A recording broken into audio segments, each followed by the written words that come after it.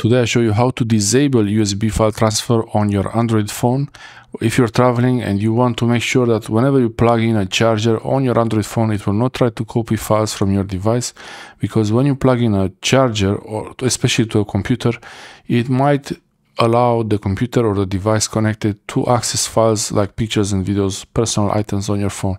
If you want to make sure that you cannot access the files, I will show you right now. Or go into the settings and in the settings search for developer options. Type this developer options right there.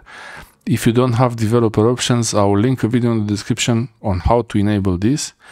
And if I forget, write a comment below, let me know and scroll all the way to USB USB what is it on the developer options page scroll all the way down to default USB configuration right here this one tap on that and you you might have file transfer USB tethering MIDI P, I think this is a printing protocol I'm not sure.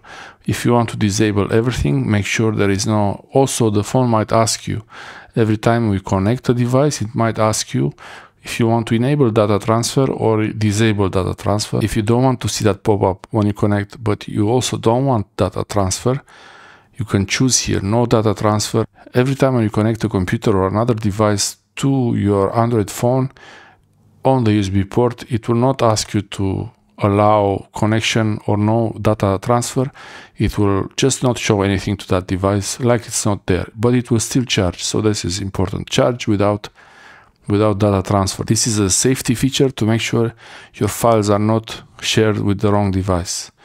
Thanks for watching. You can always put it back if you wanted to. So if you don't want to have it like that, no file configuration, you can temporarily put it back to file transfer and then put it back to no data transfer when you're not connecting it to your computer or device that uh, you know about with your own devices.